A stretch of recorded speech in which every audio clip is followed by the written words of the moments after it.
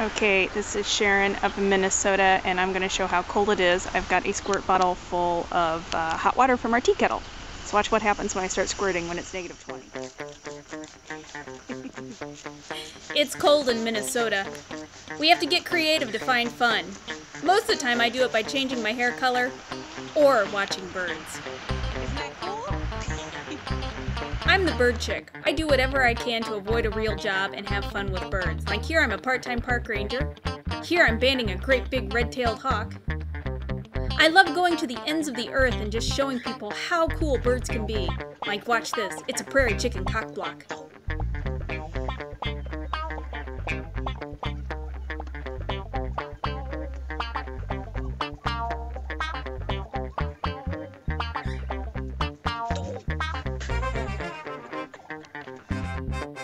But I love to show people the cool birds you can get in your backyard, like these chickadees and nuthatches.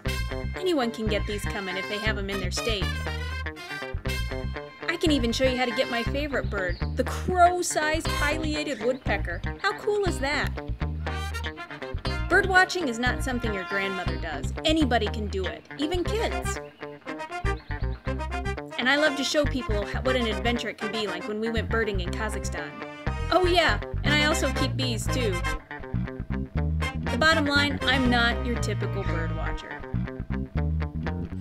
And what I'm most excited about with OpenSky is that 20% of the profits from my shop are going to go to the American Birding Association and help fund some of their kid programs like Camp Chiricahua and their youth scholarships.